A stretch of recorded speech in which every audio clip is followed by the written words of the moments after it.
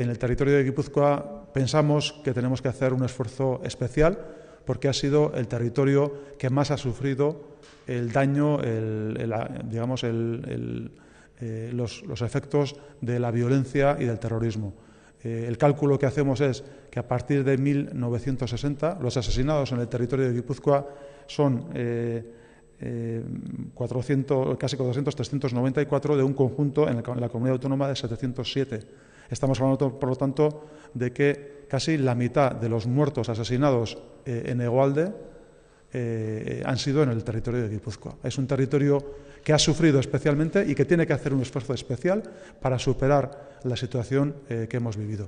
de Talantzen está mirando sobre todo al futuro, para que no se vuelva a repetir esta situación de violencia y de sufrimiento que hemos tenido. Y eso lo tenemos que hacer de un modo proactivo y trabajando también en aspectos relacionados con la prevención, para que las nuevas generaciones sean muy conscientes de lo que hemos vivido y para que no se vuelva a repetir eh, bueno, esa cultura de la violencia que hemos vivido en Guipúzcoa y en el conjunto de Euskadi. Precisamente para eso hace falta un programa, una, acción proactiva y eh, a eso también va dirigido eh, nuestro programa.